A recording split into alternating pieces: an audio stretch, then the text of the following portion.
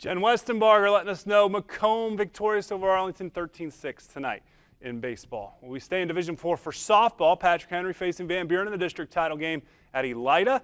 While the Patriots scored plenty of runs in their sectional title win over Cory-Rawson. It was a low-scoring affair earlier this week against Continental, with the Patriots winning 3-2 in the semifinals. Meantime, Van Buren's postseason run has been remarkable thanks to a six-run fifth on Wednesday in the win over North Baltimore. The Black Knights with 12 losses on the season are one way win away from regionals. One of Patrick Henry's 19 wins this season came over Van Buren in early April, a 4 to nothing victory. Patriots up 1 nothing in the second.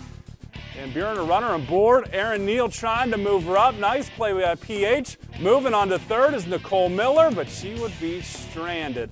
Allison Imbrock, big reason for that, gets the strikeout here. Then PH playing some defense. Look at the catch by Rachel Nye.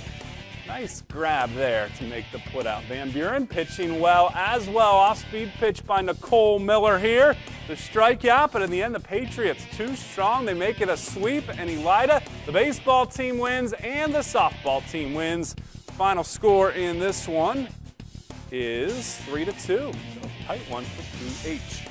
About Wayne Trace leading Hicksville 5-2, bottom four runners, corners two outs. Dominique Torres grounds out. Lady Raiders hold on to that three-run lead. Top of the fifth, Allison Brickle gets Carly Wright on the pitch in the dirt. Aces complete the put out to first.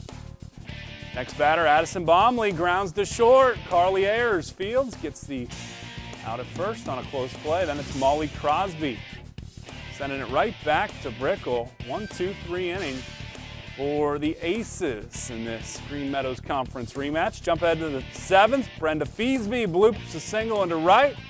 He's on for Wayne Trace. Next batter, Libby Stabler grounds to short. Ayers corrals it, steps on second. How about a double play from Hicksville? The umpire liked it. Bottom seven, last chance for the Aces. Addison Bomley starts the inning off with a K. What a season Bomley's had. Two outs now. Nobody on. Ayers hits into left center gap. She's on with the double. Can the Aces rally? No. Brickle flies out to center to end the game. Wayne Trace, your district champion, 5 to 2. Here's your bracket. It'll be the Raiders against an always tough and very hard-hitting New Riegel team who took out Carey and Kenton tonight. Patrick Henry faces Lakota. These games at Findlay.